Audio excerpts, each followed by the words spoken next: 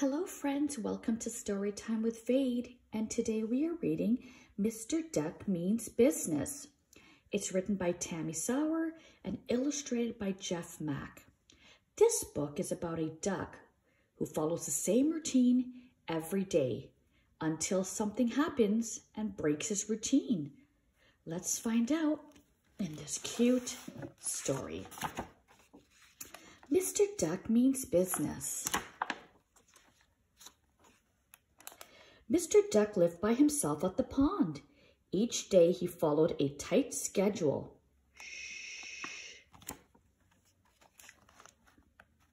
From six o'clock in the morning until seven o'clock, he would stretch his wings. From seven o'clock until eight o'clock, he would fluff his feathers. At precisely 8.01, he would glide across the perfectly still water.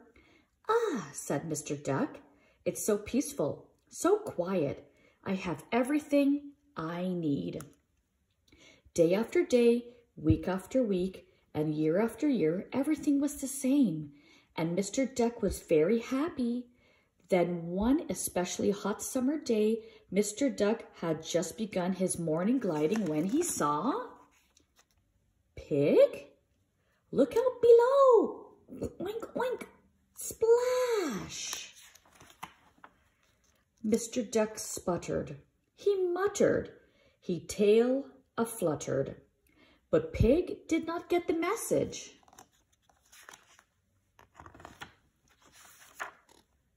Mr. Duck was all set to give Pig a strongly worded speech regarding private property when, well, there you are, said Cow.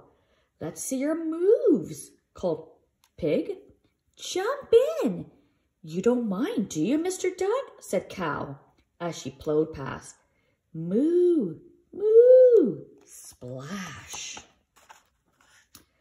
Mr. Duck grumbled. He mumbled. He flip-flop fumbled. But Pig and Cow did not get the message. Mr. Duck was all set to tell them what's what when, hey, said Goat, We've been looking all over for you. Anyone up for a game of Marco Polo? called Pig. Last one in is a rotten egg, cheeped a chick. Come on, Mr. Duck, said Cow. You're it. The water got wild, the scenery got crowded, and the peace and quiet, it was gone. Mr. Duck tapped. He flapped. He totally snapped. Quack! And somebody got the message. Perhaps we've overstayed our welcome, said Chick. Oh, said the other animals. Out, out, out of my pond, cried Mr. Duck. This time, I mean business. So sorry. My apologies. Goodbye for good, said Mr. Duck. Sorry to have bothered you, said Chick. Thanks for letting us swim in your pond. Alone at last, Mr. Duck returned to his routine. He stretched his wings. There was no splashy belly flopping. He ruffled his feathers. There was no annoying water ballet. He glided across the perfectly still water.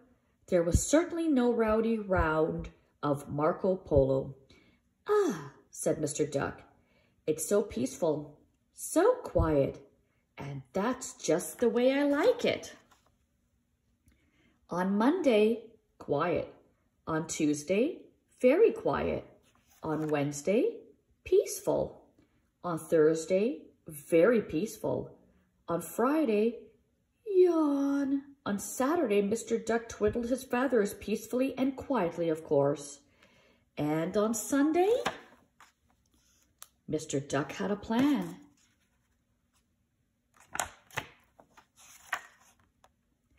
These days, Mr. Duck still loves to stretch at 6 o'clock.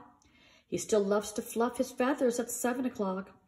He still loves to glide across the perfectly still water at precisely 8.01. But sometimes life calls for a little noise. Noise welcome from 2 o'clock p.m. to 4 o'clock p.m. especially with friends.